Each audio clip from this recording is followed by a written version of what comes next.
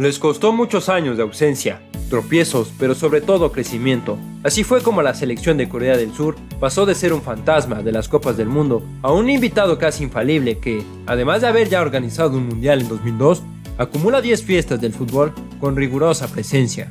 Aquel país que tuviera su primer encuentro profesional contra la selección mexicana en los ya lejanos Juegos Olímpicos de Londres 1948, donde además se impusieron con categoría 5 a 3 al tricolor.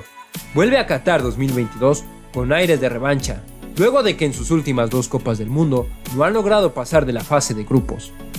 Historia de la selección de Corea del Sur en la Copa del Mundo.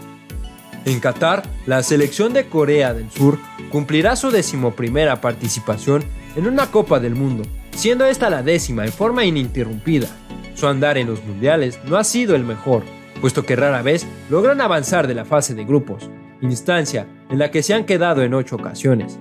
En Sudáfrica 2010 lograron llegar a octavos de final y en la justa que organizaron de manera conjunta en 2002 en Japón, lograron su mejor versión, llegando hasta las semifinales para después caer en el duelo por el tercer lugar. Cabe destacar que Corea del Sur vivió un largo periodo de ausencia en las Copas del Mundo, desde Suiza 1954 hasta México 1986. Figuras de la selección de Corea del Sur en Qatar 2022. Aunque sin duda alguna, el estandarte en la plantilla de Corea del Sur es el delantero del Tottenham, Son Yeon-min. Son varios los elementos que destacan o que más renombre tienen, pues además del goleador ya mencionado, también destaca la presencia del capitán Kwao Tae-chagui, quien jugará sus 40 años, última Copa del Mundo.